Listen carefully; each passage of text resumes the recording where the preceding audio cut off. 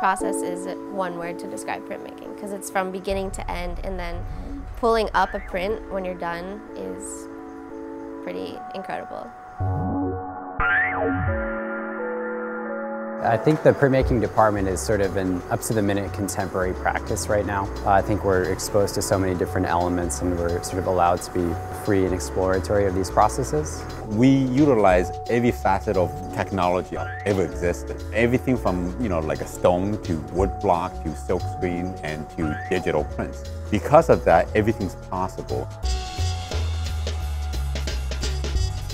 You have the space, you have the materials, you have the machinery here to make whatever's in your head.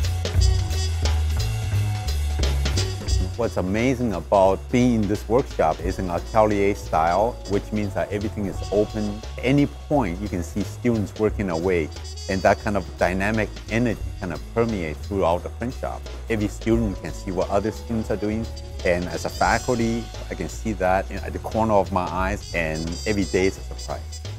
Digital prints, performance, video, other materials, 3D, installation, whatever it is. I mean, there are so many different possibilities that are being done. And we have the space to be able to do that. The studio space is, is amazing. It's, this is, I think, one of the biggest departments at MassArt. First of all, it's massive. I think it used to be two basketball courts.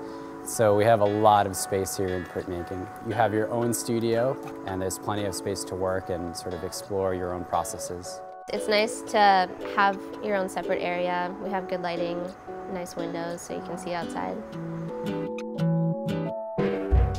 I like how everyone is fairly closely knit. You know, in critique, we're super close. No one really ever gets offended by any of the critiques. We help each other with our processes and we go on trips together. So we basically have a multi-layer family. I think there's a lot of versatility in the department. The professors really let you work freely. The department lets you sort of, you know, decide like what kind of work you want to do and they try to make you the best at it. They mean well and they want to bring out the, the best in you. If students don't do interesting work, then this job feels like a job. We're here because students are good, students are interested, and the students are making amazing work. And uh, it's a pleasure just to witness all of that. Uh, I think it's very, very open-ended. There is no right way, of course, in art in general, but in printmaking it's definitely true. We're encouraging students all the time to both learn the traditional aspects of the printmaking media, but also to invent and stretch the boundaries as much as they possibly can. Starting out, there you don't have that flexibility because you're just learning the techniques.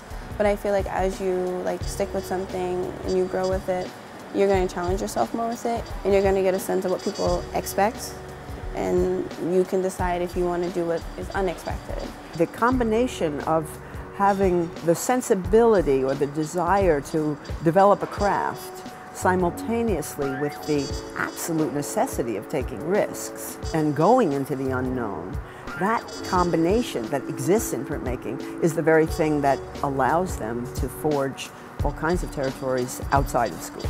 The way that your mind develops in here, you're very disciplined and you have to think on many levels how something's going to work. So I think you can apply a lot of these traditional elements that we use here in the print shop to a lot of real world scenarios. Not just creative, you can bring this into any part of your life, I think.